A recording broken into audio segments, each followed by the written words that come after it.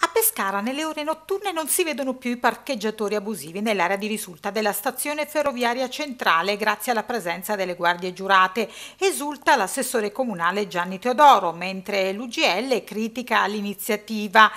Il segretario regionale UGL Sicurezza Civile Fabio Urbini e il segretario generale provinciale di Pescara Armando Foschi affermano che la sicurezza in quell'area può essere garantita dalla Polizia Municipale e dalle altre forze dell'ordine. Questa soluzione pertanto ha un costo che la collettività poteva risparmiarsi. La sicurezza è una priorità sia nell'area di risulta che nelle altre zone della città, ribadito l'assessore Teodoro. Considerato il risultato che stiamo ottenendo, eh, sicuramente, certamente eh, proporrò insieme al sindaco, alla giunta, eh, di eh, continuare eh, a, non più a sperimentare ma ad inserire un servizio di questo tipo all'interno dell'area di risulta. Tenga presente che non, non, è, il, non è, soltanto l'unica azione eh, di mh, deterrenza che eh, si fa con questo servizio, perché noi arriveremo con le telecamere da lì a poco e avremo quel territorio completamente sorvegliato,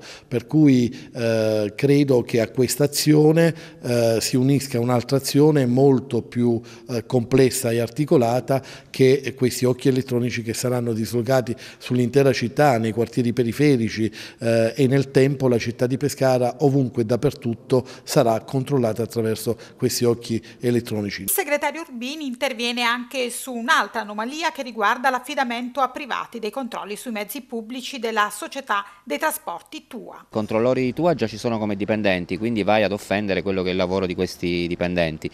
e mettere delle persone che non hanno nessuna titolarità per fare cosa, per, pagati per, tra l'altro ci, ci viene riportato anche che ci sono dei ritardi sulle corse perché bloccano i passeggeri, controllano. E ad oggi però non abbiamo una risposta da tua nonostante abbiamo fatto varie richieste per sapere a che titolo è stato fatto questo affidamento che seppur sotto soglia